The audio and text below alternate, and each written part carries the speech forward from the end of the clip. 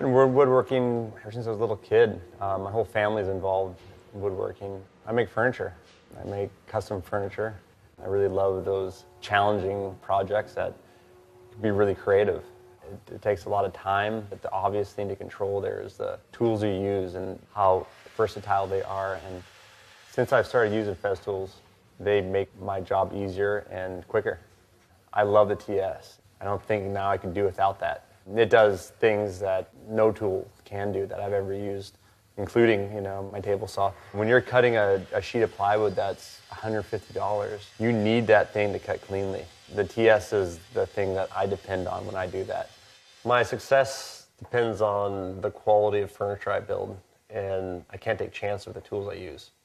I know it's impossible to cut out breathing dust completely during the day, but Festool with his dust collection has improved air at the shop in a big way. My name is Jory Brigham, and I love the accuracy and efficiency that Festool brings to my furniture.